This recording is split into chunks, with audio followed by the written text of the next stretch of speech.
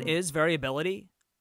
In general terms, it refers to how spread out a group of scores is. You will often hear the terms variability, spread, and dispersion used interchangeably. They all refer to how spread out a distribution is. For example, let's look at the two distributions of classroom test scores shown here. Although they both have means of 7, it is obvious that the distributions are quite different. Specifically, the scores on the left graph are less spread out than those on the right graph. Said a different way, the differences among students are much less on the left graph than on the right graph. Just as there are several measures of the center of a distribution, there are many measures of the variability of a distribution. Four are used frequently the range, the interquartile range, the variance, and the standard deviation. We now look at each of these four measures of variability in more detail. The range is the simplest measure of variability. It is the highest score minus the lowest score. Consider the 10 numbers shown here. The range is just the highest number, 99, minus the lowest number, 23, which means the range is 76. Going back to our earlier example of test scores, on the left distribution, the lowest score is 5 and the highest score is 9. Therefore, the range is 4. However, the variability on the right distribution is larger. The lowest score is 4 and the highest score is 10. This makes the range 6. A second measure of variability is the interquartile range, which is the range that contains the middle 50% of the scores. The interquartile range is calculated by subtracting the 25th percentile from the 75th percentile.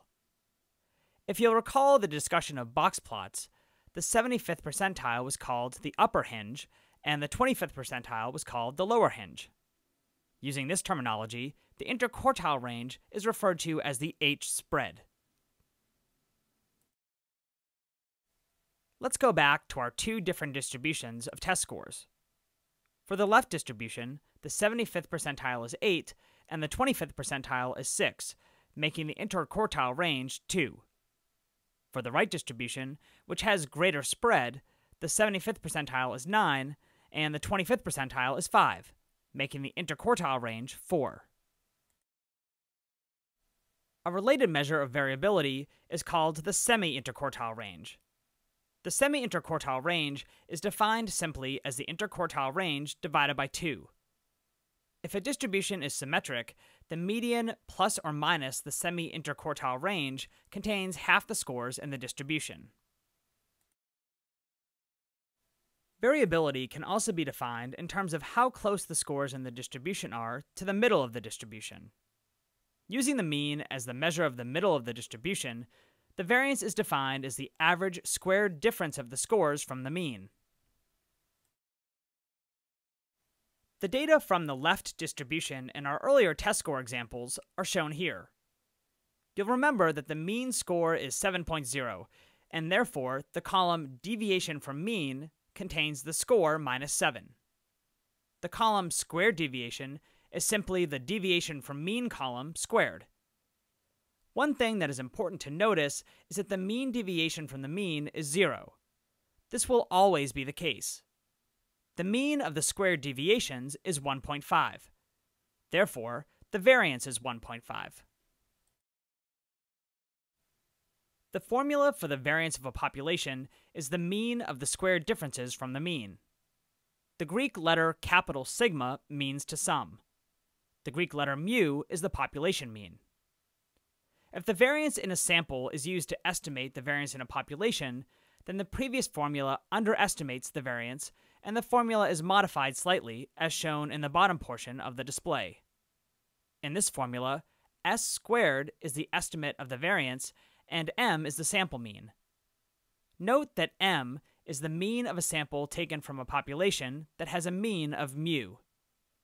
An important difference between the formulas is that you divide by n in the top formula and by n minus 1 in the bottom formula. Since in practice the variance is usually computed in a sample, the bottom formula is the most often used.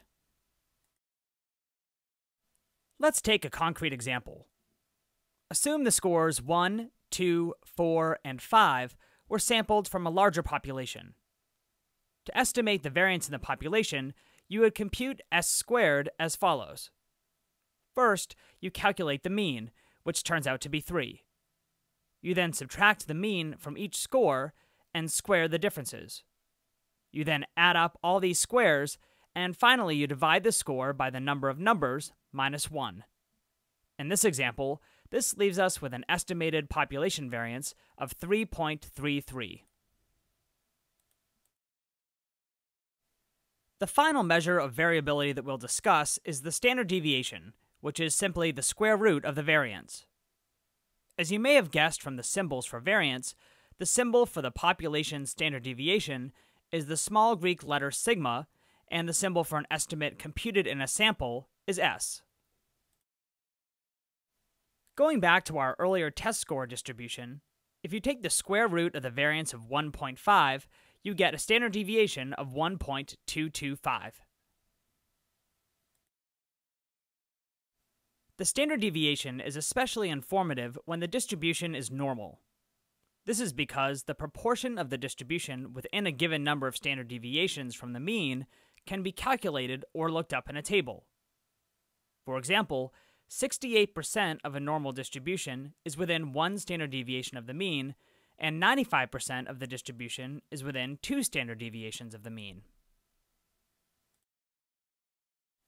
A detailed look at the usefulness of the standard deviation in normal distributions is presented in a chapter devoted entirely to normal distributions.